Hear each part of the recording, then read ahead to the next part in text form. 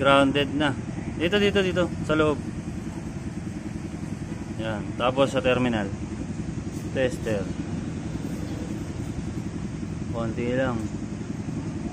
Ito, konti lang. Pagdating dito, ano, grounded na.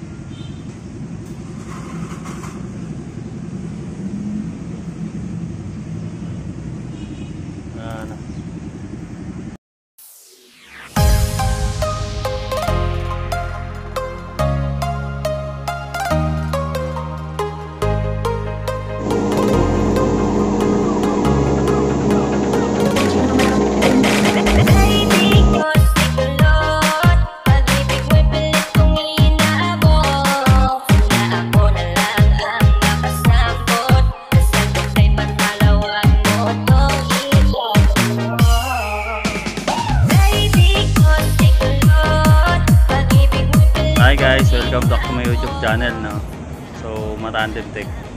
So, samahan niyo uli ako guys. So, may i-assist tayo sila Master Edu.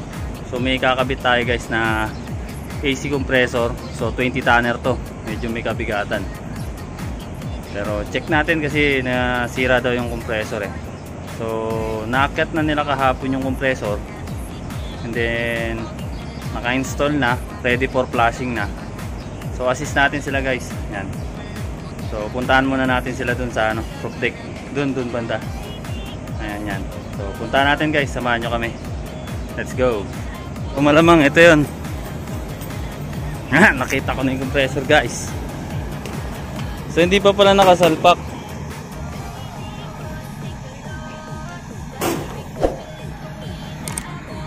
Yan, so Naka-pull out yung isang condenser fan motor, ayan o. Ito yung compressor niya guys.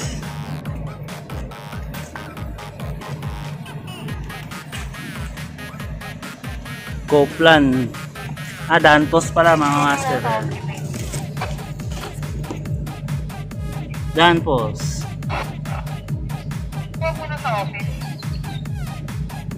Yan. So, ito yung ano niya. Refrigerant niya. Pwede siyang R22, pwedeng R47, pwedeng 1348. So, depende yan sa system, guys. So, ito kasi 22 yung system niya. eh. Oh, diba? Pinagko-comment. Ayan oh. Galing mo, kapapasok mo lang, vlog ka agad. Tigas ng mukha mo ah. Hoy! Ang sarap trabaho, vlog agad ah. Galing kita eh. Ito pala yung condenser fan motor na nakapula to. So piniprehan, piniper, ano? Pinirepair yan ni Master. Master Edu. Kaway kaway. Oh. Ito yung kanyang circuit breaker guys. Yan. Ayan. Diba?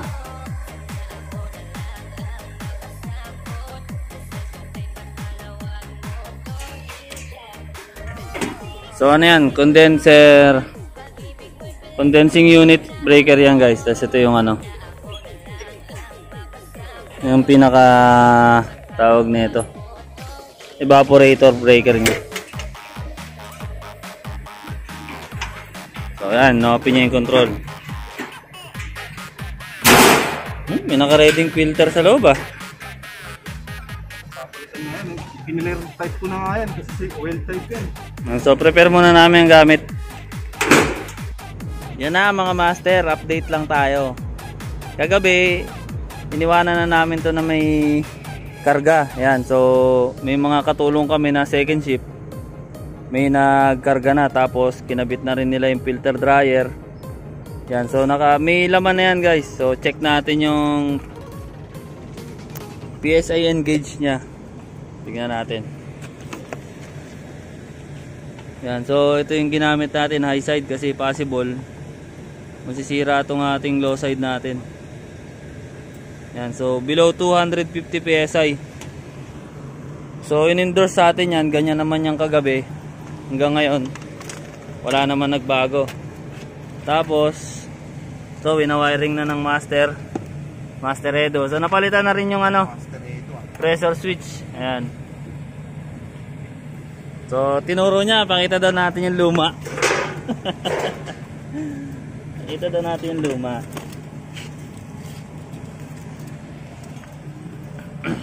Ito guys, oh. Danpos yung luma niya. So, ito kasi, dekada na to eh. So, kaya, kailangan niya na ring palitan. So deserve niya naman ding palitan dahil bago yung compressor natin para maganda yung operation niya. So ayan yung brand niya, Pen. Pen yung tatak niya. Yan. So yung ganun din yung low side high side niya, siyempre kinabit natin sa high side area tapos sa low side area. So ito yung low side area natin o yung suction suction line. Ito ito siya guys. Tapos yung high side area natin ito. Yun. Sa high side din sa discharge o discharge line. Yan. So, convert na rin namin to last time. Yan, nilagyan namin ng Dotex. So, na-video ko na rin to guys. So, pakisilip na lang sa ating YouTube channel. Yan. So, busy busy pa si Master Edo eh. Pinawiringan niya. So, dinisable muna namin yung compressor. So, ang balak namin for safety reason, i-check namin yung wiring niya kasi nasira yung compressor na ito. Anong sira nun, Master? Grounded. grounded. So possible may problema sa wiring. Pero double check na rin natin kung sa wiring nga ba nang galing.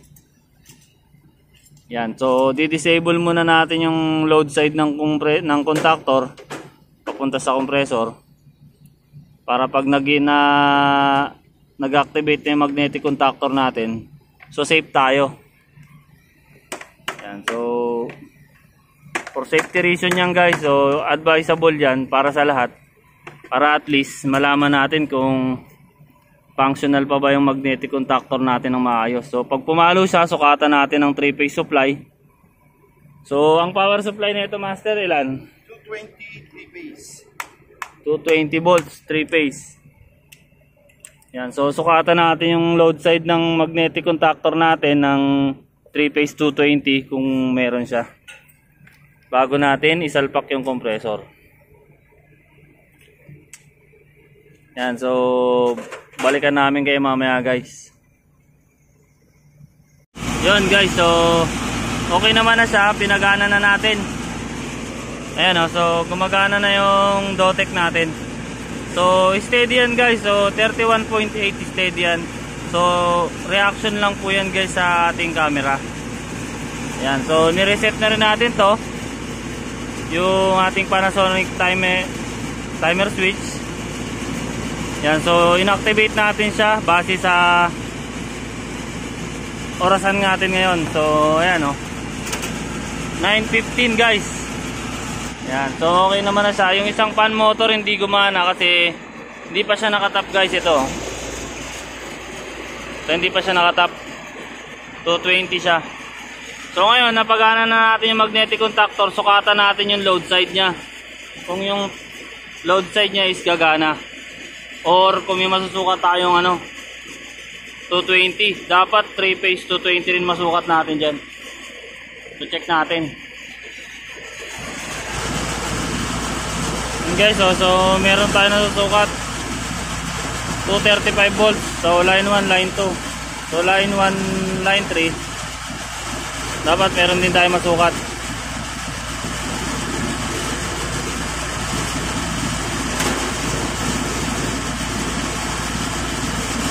yan guys so 244 so line 2 line 3 dapat meron din tayo masukat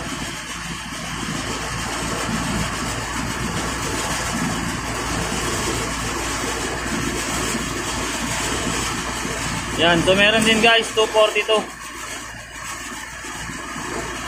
So ibig sabihin, good yung ano natin, magnetic contactor.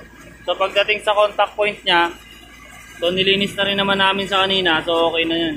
Okay na siya. So active lahat ng device natin, yung Dotec thermostat natin, pati yung timer switch natin. Yan, so ito lang nirekta ko muna. Nirekta muna namin.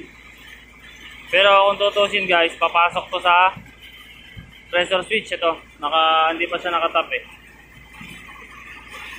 Pero dapat pressure switch to para pag nagkaroon ng reaction sa pressure, ikakat ng pressure switch and then mawawala ng supply yung Dotec control natin. So pag nawalan siya ng supply, hindi gagana yung magnetic contactor natin. So mamamatay yung compressor. Yan, tapos dinudugtungan na ni Master Eddie yung ano, isa pang condenser fan motor para may tap na natin. So ito yung abang pala guys, eh, no? So yung nag-pull out ng compressor, pinutol na lang nila para mabilisan. Yan, so i-re-retap na lang natin yan. So patayin muna natin yung breaker. Ito.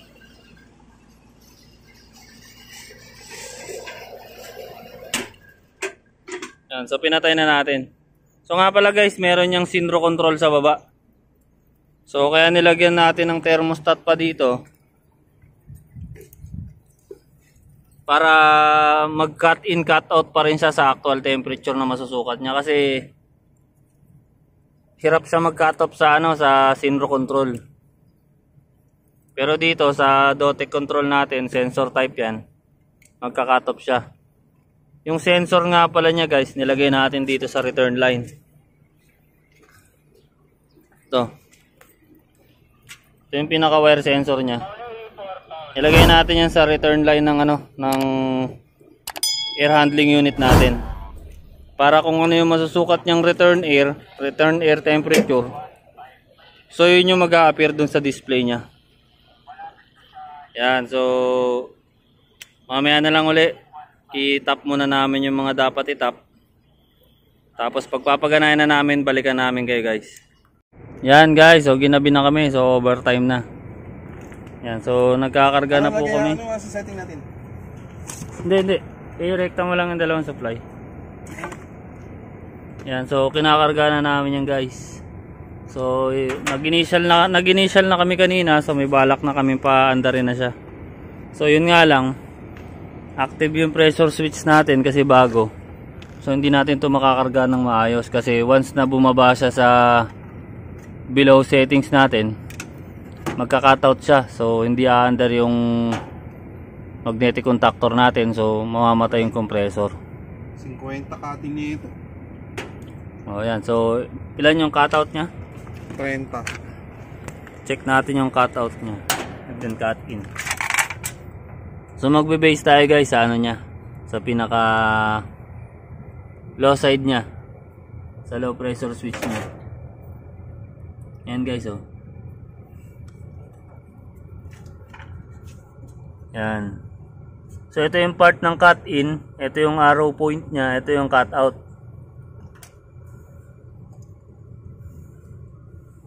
Yan. So, kailangan magka-cut in lang siya na once na nasa 50 PSI siya.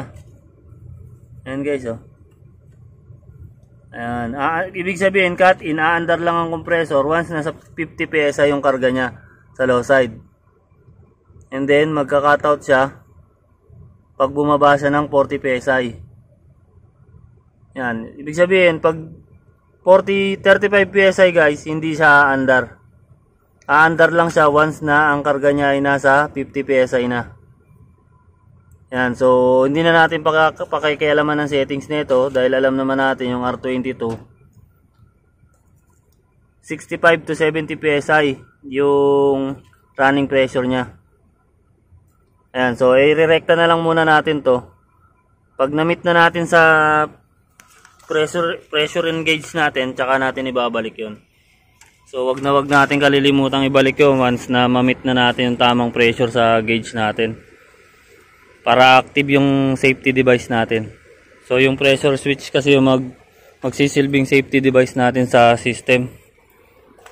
Para makaiwas tayo sa pagkasira ng compressor.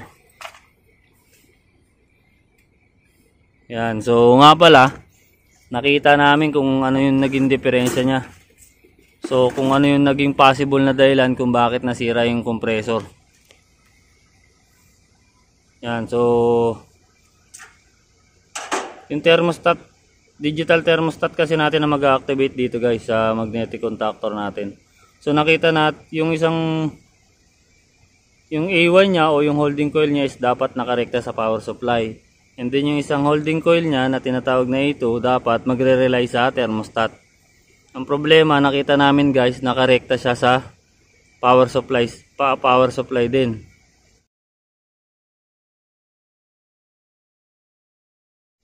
So once na i-on namin yung circuit breaker para sa ating condenser fan motor, pag nag-activate yung bridge contactor natin, nakarekta na rin kagad siya kaya umaandar siya.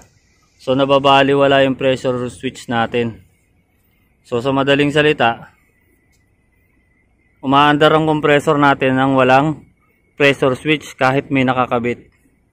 So parang disabled na rin natin siya. So parang wala na rin siyang safety device.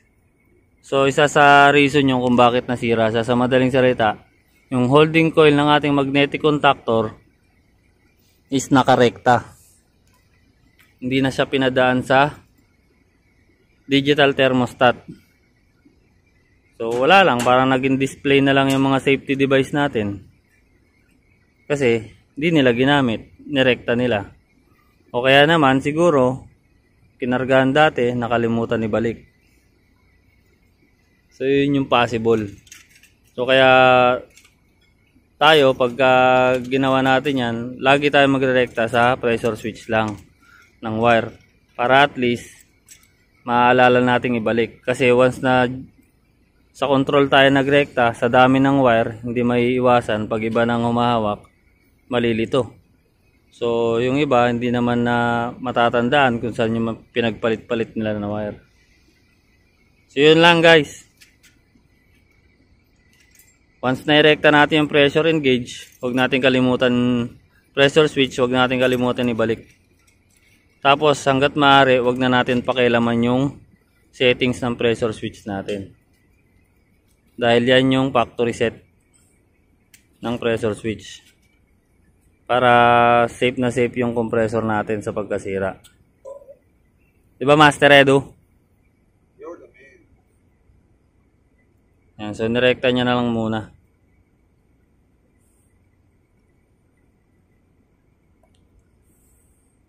Yan, so after niyan, paandarin na namin yan. Isa nga pala guys, isa pa.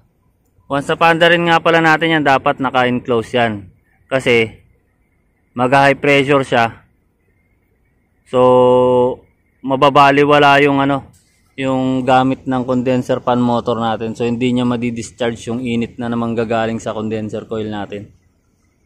So, dapat isasarado natin yan. Para at least makakatulong din yung condenser fan motor para higupin yung init na ipoproduce ng compressor.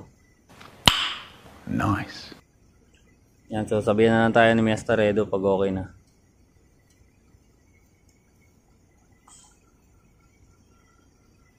Yan guys, so pinaandar na namin. So pakita ko muna yung pressure and gauge niya. Kaya namamatay yung pressure switch natin.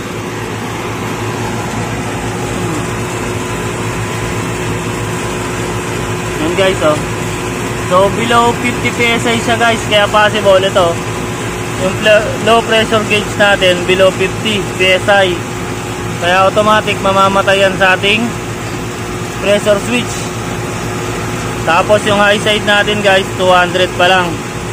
So alam naman natin yung R22 60 to 70 PSI sa low side. Tapos sa high side dapat 250 to, to, to 300 PSI. Yan yung ano natin. Pero dito 200 PSI pa lang siya. So malayong malayo pa guys. So pa once na pumalo yung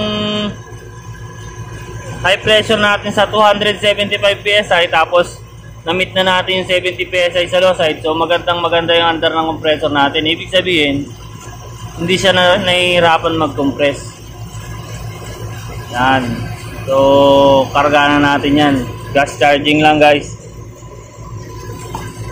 Para hindi malunod yung system. So, sa initial charging, pwede tayo mag-gas charging. Pero dapat hindi umaandar yung compressor.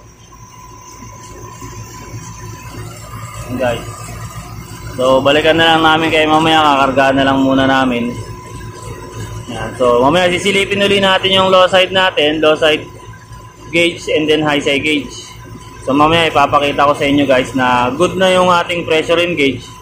Tapos, ibabalik natin yung pressure switch na nirekta natin. So, sa ngayon, hindi pa natin pwede irekta dahil mababa pa yung karga. So, automatic mamamatay yon. So, patay sindi siya guys. Pag namatay, aangat yung gauge natin, papalo na naman yung compressor. So, magiging factor din ng pagkasira ng compressor yun guys. So, balikan na lang namin kayo mamaya guys. Ayan guys, so kinakarga natin, no? So, ayaw na pumasok nung karga guys. So, iiwan na lang muna natin to na nandito. Pero, papatayin natin yung unit para makapag-equalize yung refrigerant sa buong system. Ayan. So para makuha rin natin yung tamang karga niya sa loob ng system. So nga pala, ito na yung amperahe niya. So ito yung PSI. So below 50, below 50 PSI yung low side niya and then saktong 200 PSI na yung high side niya. Ayan. So tapos ito naman yung amperahe niya. Ayan. 63 amperes. Yan. So, hindi pa natin makukuha yung tamang karga niya as of now kasi ah ayaw nang pumasok ng karga sa system. So, mas maganda. So, pa-equalizein muna natin yung freon sa buong system. So, ibababad na natin to ng magdamag. So, papatayin natin yung unit tapos ibababad natin magdamag para makuha natin yung tamang karga niya. Yan, so off na natin muna yung unit. So, bu so mamaya na lang uli guys. So nga pala, ito na yung temperature niya sa na nasusukat ng return sensor natin. So yung digital thermostat natin, yung Dotex. So yan na yung actual reading niya. Oh.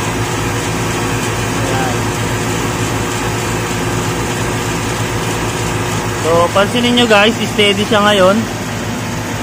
Ayan, so kasi dahil naliliwanagan, so naiilawan siya. Ayan. So kaya steady siya.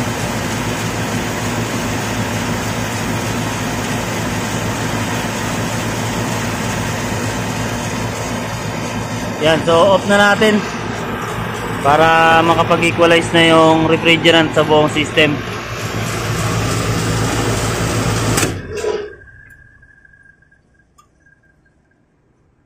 Yan. Tapos, to make sure, syempre patayin na rin natin yung circuit breaker ng outdoor unit. Tapos ito naman yung circuit breaker ng indoor unit. So nga pala, air handling unit to. So box type. So ito na yung magsisilbing evaporator unit niya. Tapos syempre ito yung condensing unit niya. Ayan. So centralized to guys yan. Centralized air conditioning to. So late na rin naman ha. So madaling araw na. Yan so bukas na lang uli. Ah mamaya na lang uli guys. Yan. So dito ko na puputulin.